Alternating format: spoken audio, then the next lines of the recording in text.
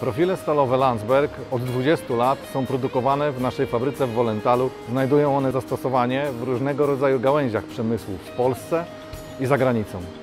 Między innymi w stolarce otworowej, czyli okna PCV, drzwi, witryny czy przeszklenia.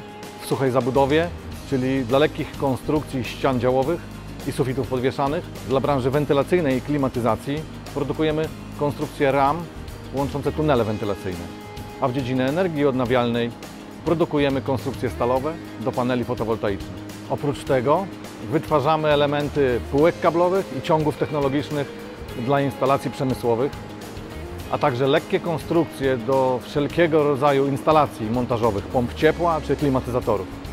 Dla przemysłu maszynowego produkujemy prowadnice do przemysłu linii transportowych czy transporterów łańcuchowych.